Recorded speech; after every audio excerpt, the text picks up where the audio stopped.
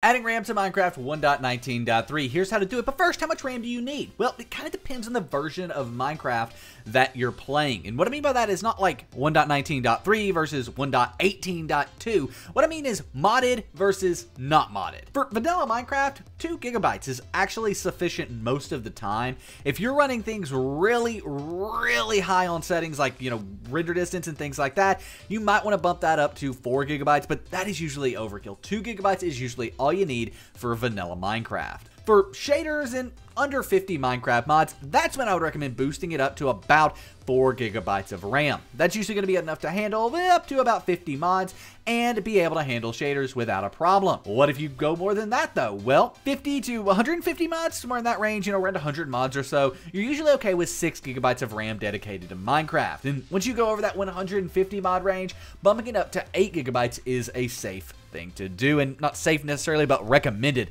thing to do.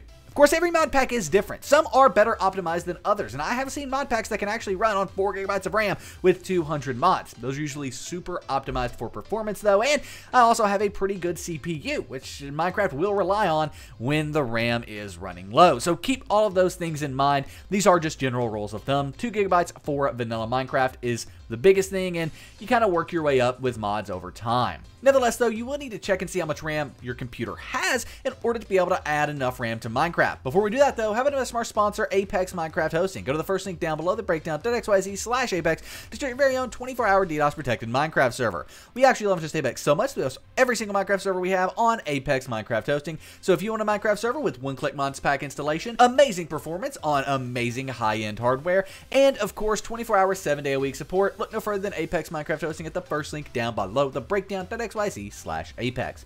Now, before we add RAM to Minecraft here, we should probably see how much RAM your computer has. That's important because you should never have more than 50% of the amount of RAM your computer has to Minecraft. So let's go ahead and click the little Windows icons in the top left of my screen, probably in the bottom of your screen, or if you're on Windows 11, this will work. And the Windows icon is going to be in the bottom center. Now, once you click on that, type in system information. Open up the system information app here. And in here, you want to look for your memory, specifically your installed physical memory here is how much RAM, as you can see, your computer has. I have 64 gigabytes of RAM, meaning in theory, I could add 32 gigabytes of RAM to Minecraft. That is insane. You never need to do that. However, let's say you had 8 gigabytes of RAM. Well, in that case, you would only add 4 gigabytes to Minecraft at its peak. If you had 16, only ever add 8. If you have 32, don't add more than 16. By the way, I've never seen Minecraft need more than 10 gigabytes of RAM, so keep that in mind as well. But nevertheless, never add more than half of what is shown here and install physical memory to Minecraft.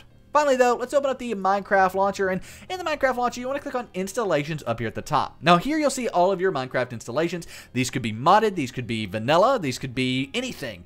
And with that, every installation has its own RAM setting. So setting your RAM in latest release is going to do nothing for your latest snapshot. It's going to do nothing for your modded installations. So you will need to set these for all of the installations specifically, which is both good and bad, because you don't need 8 gigabytes of RAM in vanilla Minecraft, so no reason to set that. But let's say you have a mod pack installed as well with tons of mods in it. 200. Well, you might need to dedicate 8 gigabytes to that. You don't want that to affect your vanilla installation where you only need 2.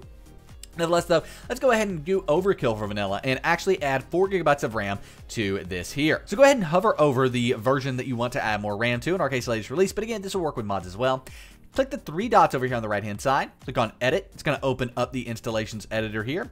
Click on more options down at the bottom. And then down here at the beginning, right here at the beginning of Java arguments, you'll see XMX2G. So dash XMX2G. If you want to add more RAM, just change this to XMX 4G. The number is the amount of gigabytes in RAM that you have. Now, if it doesn't say G after this, you can actually make it do so. So if it says like M or MB, that's megabytes. Go ahead and remove that and just change this to G the way you're adding in gigs of RAM at a time instead of having to do the megabytes, which you can do, but I would just recommend using a round gigabyte number.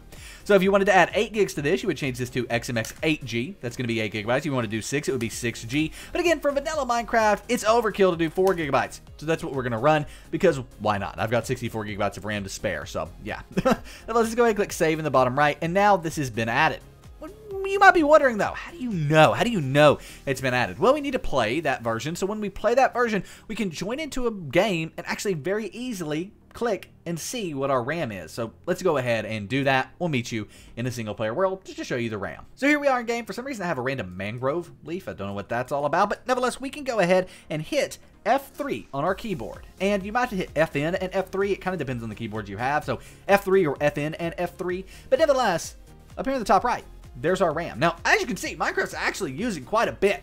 But oddly, if you turn this to 2 gigabytes of RAM, it would only ever use about a gig. Minecraft tries not to use more than half of the RAM you have allocated, just to leave some room in case it does need more RAM for whatever reason. But as you can see right here in the top right, we're using about max 3 gigabytes of RAM before it kicks it out, and the total is the right number, so 4096 megabytes translates to 4 gigabytes of RAM dedicated. So there you go. That's how you can add more RAM to Minecraft and then how to see how much RAM you have dedicated. If you have any questions, let us know in the comment section down below. And if you did enjoy this video, be sure to check out the video on your screen right now because it's how to install texture packs. I honestly don't love the look of Minecraft here, and if you're like me, you might not either. That video will show you how to install a custom texture pack in 1.19.3. Goes over everything in depth. Nevertheless, thanks so much for watching. We'll see you in the next video. I am out. Peace.